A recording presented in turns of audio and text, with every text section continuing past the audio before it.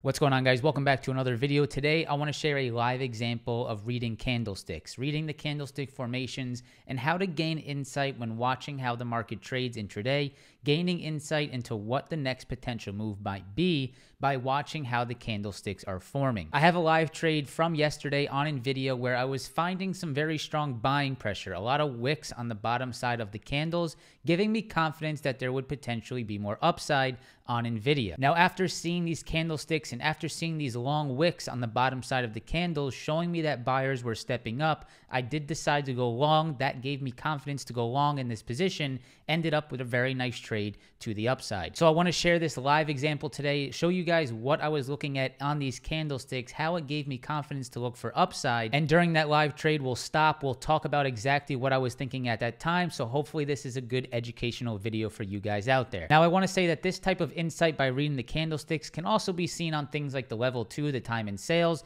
But for me, watching those candlesticks, getting insight from them has been very helpful. And I hope that this video helps you out as well. So let's go ahead and start this video out by giving you some insight behind the trade, why I took the trade. Not only was it the candlestick formations, it was also a retest level that I was watching, the break and retest, which I love the trade. But on top of that retest holding, I was also monitoring those candles, which we will get into in today's video as well. So here's NVIDIA over the last four trading days. And our previous high before this big breakout was right around this previous 178 level. We had some previous highs around this 178, and I was looking to see if we break above that 178, can we get a retest of that 178 area?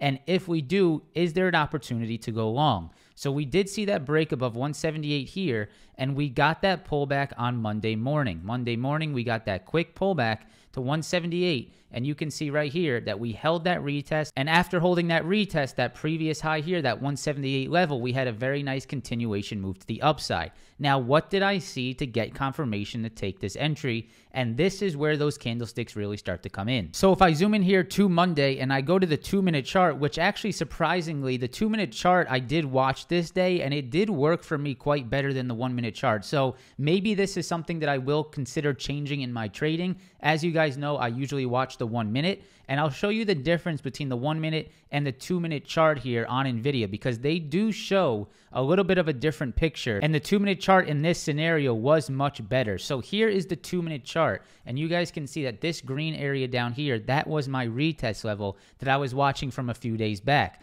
I was looking to see if we get a pullback to that 178, do buyers step up, and can I go long off that level? Well, you can see here, if I zoom into this two minute chart and we look at these candles, we can see these bottom wicks on these candles. Now, what this means is that every attempt to move lower was getting bought up, right? Because the candle during that two minute period traded back to this level, got bought up. During this period, it traded back to this level, it got bought up. Even this very aggressive wick right here, we traded all the way back to that 178.20 and finished the candle all the way back up at 180. About a $2 candle that got completely bought up by that retest level. The next one, you can see once again a wick with the candle closing to the upside. So a very nice example of these wicks getting bought up, showing those wicks to the downside, and giving you that example of how these formations on the candles could give you some insight into the next potential move. So if you have some trouble reading that when looking to the upside, let's go ahead and inverse NVIDIA's chart. This is the inverse of that exact same thing you just saw.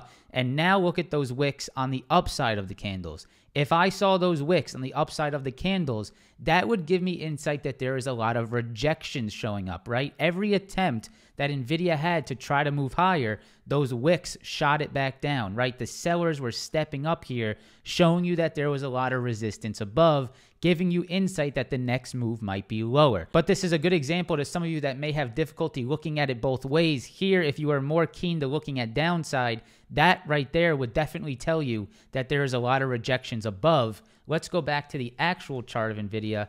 You guys can see that this is showing the same thing, but this is the real chart, and this is showing that there were a lot of buyers stepping up at that 178 level. So something that's very important, right? The break and retest is my strategy, but what is the confirmation to actually take the entry point? And that right there, those candles right there, that was enough for me to be confident that I could try a long entry here, have my stop loss under that 178. If the market breaks down below those wicks that I see forming, then I get out of my trade, right? I am no longer interested because that support has broken. But being able to monitor those wicks, seeing that the buyers were stepping up there on this two minute chart, gave me that confidence to go ahead and get in. Something that you definitely want to learn and something you want to be able to identify as you're trading intraday. Now, let me go ahead and show you what this looks like on the one minute chart versus the two minute chart, right? So, here on the one minute chart, that's what we have up now. You can see those were full bodied candles. And to me, that looks like a lot of chop, right? A lot of action that I don't want to have any interest in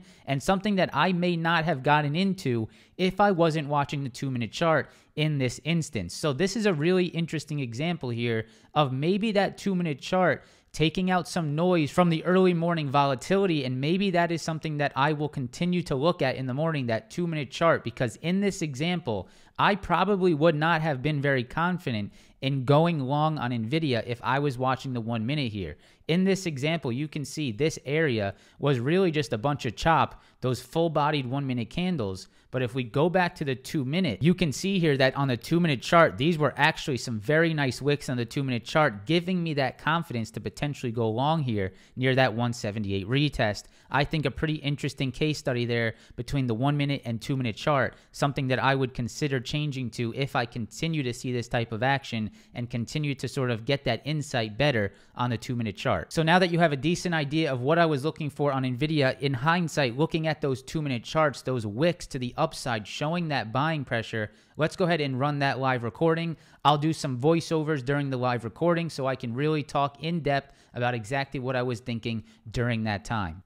So guys, for the next one minute, I want to go ahead and observe these candles. It is sped up eight times, but let's go ahead and watch these candles together here at the open.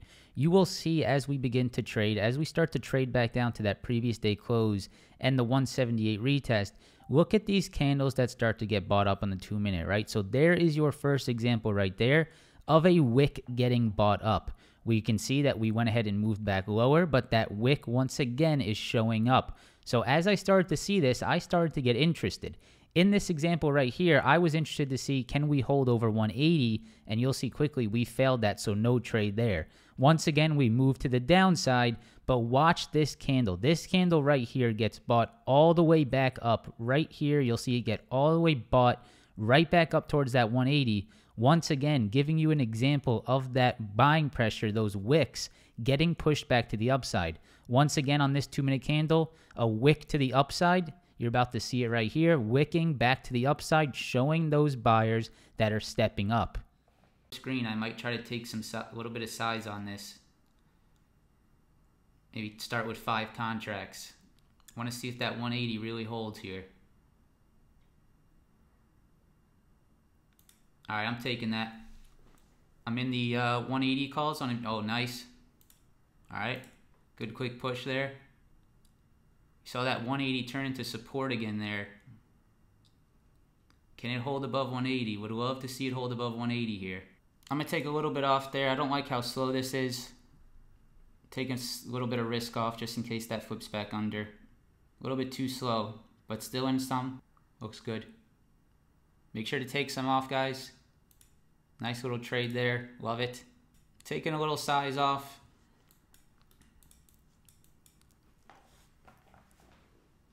Nice hold on NVIDIA of 180. You guys saw that thing flip green over 180. I really like that. The way those candles were forming, that was that was pretty nice. See if we can let this one run a little bit. New highs, nice. Good volume. Still very possible that the ES rejects 4000, which could pull this NVIDIA right back in on us. So let's make sure we take some off. Taking some profits. Holding some runners. Still in one NVIDIA. Just watching. No stress. See what happens here. I like my entry. Like my position. Still above 180. Looks good. Nice, man. NVIDIA, let that runner juice. Juice it. Dollar's coming down now. Let's see. Yeah, you could start to scale out of some NVIDIA. I might get out there, honestly. I mean, that's a monster push. Yeah, I'll take it there. $768 on NVIDIA. I'll take it there on that huge push. If that pulls back in, I don't really want to be part of it. So, guys, I figured this was a really good example of reading those candlesticks and how it gave me confirmation to get into a potential trade. I hope that you got some insight out of this video, reading those wicks, reading that buying pressure on the downside of those candles, showing how those candles were being pushed to the upside, leaving a wick down below, showing that there was buying pressure and potentially getting you interested in an upside trade. Now, at the base of this trade, it really, once again, was just a break and retest. It was a retest of my 178 level, but those candles was the confirmation confirmation for me to get into the trade. The confirmation is just as important as the strategy in itself. So this is an important thing to be focusing on as well to really fine tune your trading entries. If you guys enjoyed today's video, make sure to go ahead and press that like button for me. Subscribe to the channel if you want to see more live trading, more examples like you saw in today's video. I hope you guys have a great rest of your day. Hope you have a great rest of your week, and I hope to see you in the next video. Peace.